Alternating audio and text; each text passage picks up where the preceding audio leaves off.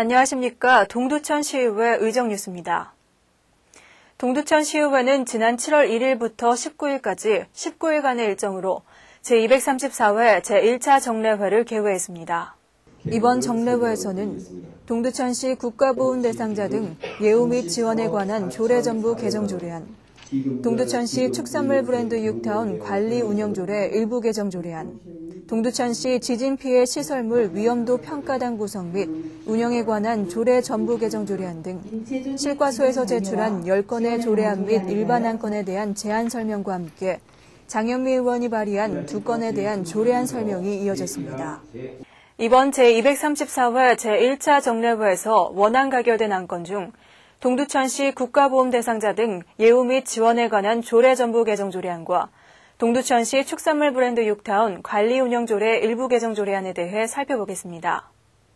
먼저 동두천시 국가보훈 대상자 등 예우 및 지원에 관한 조례 전부 개정 조례안은 보훈명예수당과 관련한 3개의 조례를 통합 정비하고 국가보훈명예수당 지급 대상자를 확대 지원함으로써 국가유공자 상호 간의 형평성을 유지하는 등 효율적인 운영을 위해 조례 전부를 개정하여 원안 가결 처리됐습니다.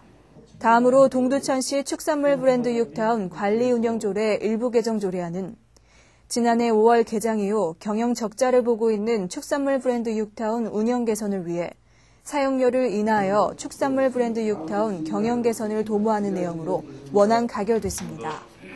다음은 제234회 제1차 정례회에서 진행된 2013년 행정사무감사 특별위원회 활동에 대해 살펴보겠습니다. 동두천 시의회는 지난 7월 4일부터 12일까지 9일간에 걸쳐 행정사무감사를 실시했습니다. 행정사무감사는 각 집행기관 실과소장 등 간부 공무원들이 출석한 가운데 실과소별 감사에 들어갔습니다.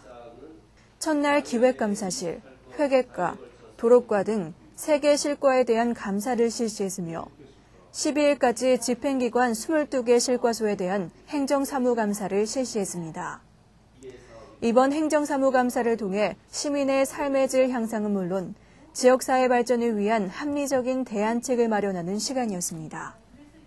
이상으로 의정 뉴스를 마칩니다. 시청해주신 여러분 고맙습니다.